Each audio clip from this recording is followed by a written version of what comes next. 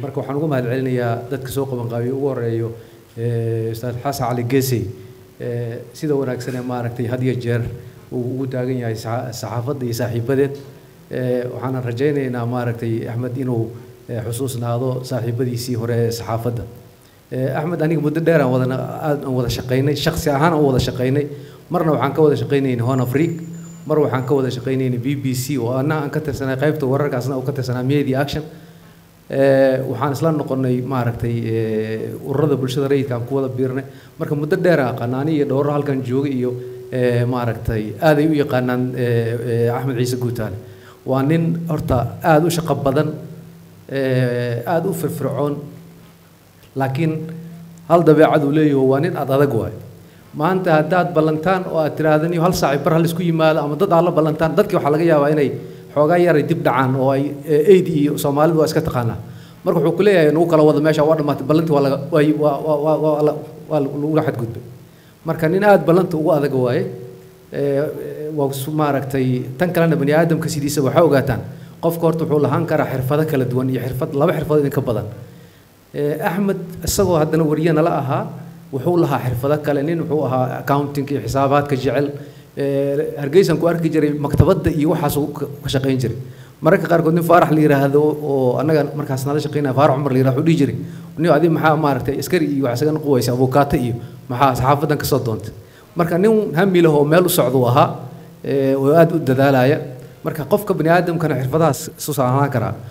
Dadka aad taqaanaane caanka ah oo dadka qaarkiis inay ku soo gaarina laga yaabaa dictor rafi nin wuxuu ahaa waa oo dhan caanka ahaade kooxdii waa beri dictor rafi markuu soo ushiisa soo qaato dharka cad soo xirto barbaarta reer banaadir uu ninka ugu horreeya ahaan jiray.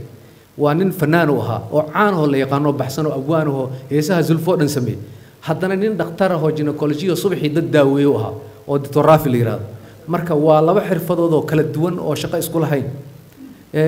Doctor maxamed ikarjes dadaa yaqaano rafaad iyo raax filimka la yihahdo welid youtube-ka waa laga heli karaa ninka sameeyey ee waxaasoo dhan samayn jiray doctor oo ahaa caafimaad ka shaqeeya. Qofku marka wuxuu lahaan karaa xirfad ama laba xirfadood. Marka guutaale wuxuu ka mid ahaa marka dadka labadaas xirfadood leh.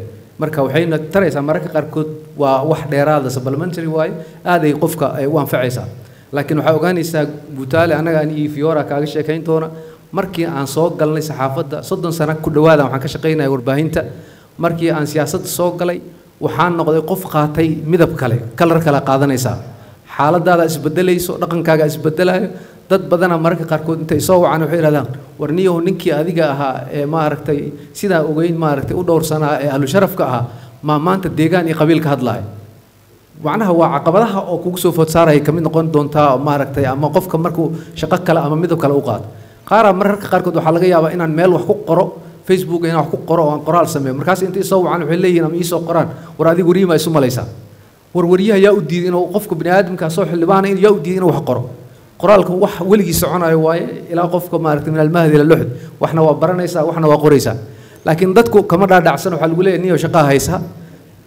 Mararka qaarkood haddaad maaragtay sboorti iyo iska fiirsato waxaa lagu leeyahay war ninkii shaqada aan u dirsanaa sboorti iska fiirsanaayo war walaalo sboortiga ii diiday inaan fiirsado intaan noolaayan bo sboorti fiirsanaaye marka waxyaabo badan oo caqabad badan ay siyaasadda leedahay annaga waxaa nooga waaya aragsan oo nooga horreeyey ustaad ambasadorka nooga horreeyo daahir maxamuud geelo waxaan aada u yaqaano oo maaragtay shaqooyin kala duwan iyo min waxbarasho ilaa iyo maaragtay siyaasad soo arkay.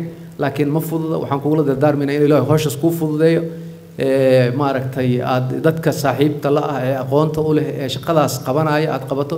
Sidii doctor maxamed xaji garis uu yirina maaragtay aad aad mas'uuliyad iska saarto waxyaabaha maanta lagu doortay.